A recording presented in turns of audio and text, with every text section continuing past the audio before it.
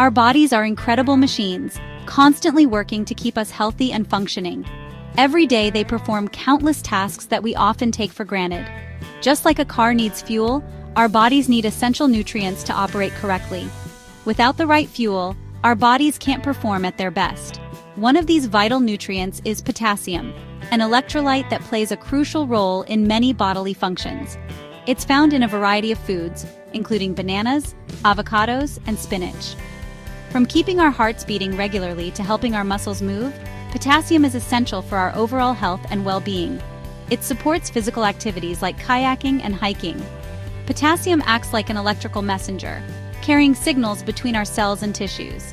These signals are crucial for our daily activities, even those as simple as typing on a laptop. These signals control everything from our heartbeat and blood pressure to muscle contractions and nerve function. Whether you're running on a beach or playing soccer, potassium is at work. Without enough potassium, our bodies can experience a range of problems, some mild and some quite serious. Fatigue and muscle cramps are common signs of low potassium levels. This is where hypokalemia comes in. Hypokalemia is a condition characterized by low levels of potassium in the blood, which can lead to severe health issues if not addressed.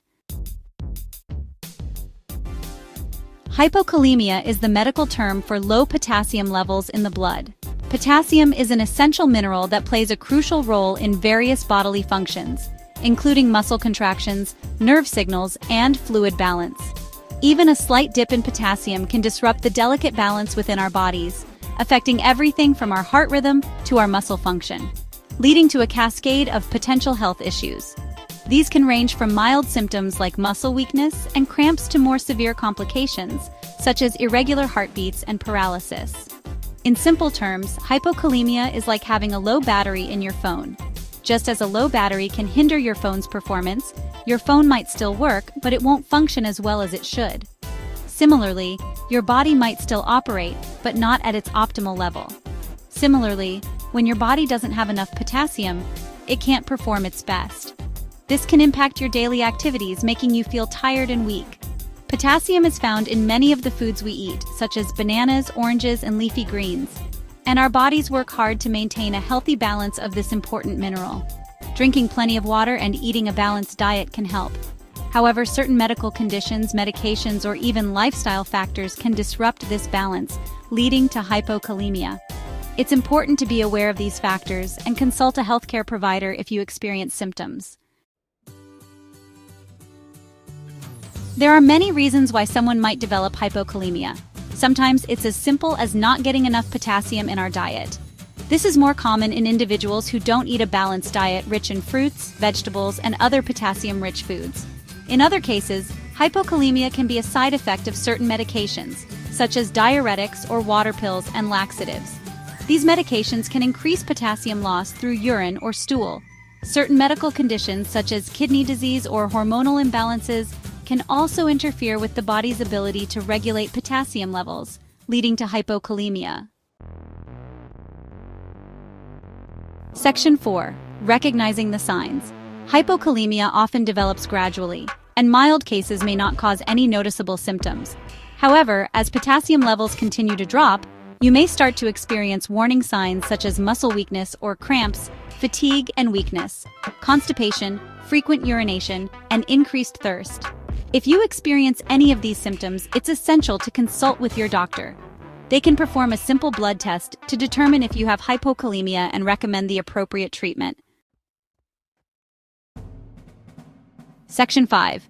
Treatment and Prevention. The good news is that hypokalemia is treatable, and in many cases, preventable. With the right approach, you can manage and even avoid this condition. Treatment for hypokalemia typically involves increasing your potassium intake through diet or supplements. Consuming potassium-rich foods like bananas, oranges, and spinach can be very beneficial. Your doctor can recommend the appropriate dosage of potassium supplements based on your individual needs. It's important to follow their guidance to avoid any potential complications.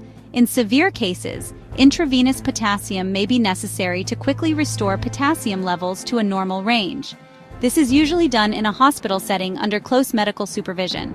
Preventing hypokalemia often involves making simple lifestyle changes, such as eating a balanced diet rich in fruits, vegetables, and other potassium-rich foods. Regularly including these in your meals can make a big difference.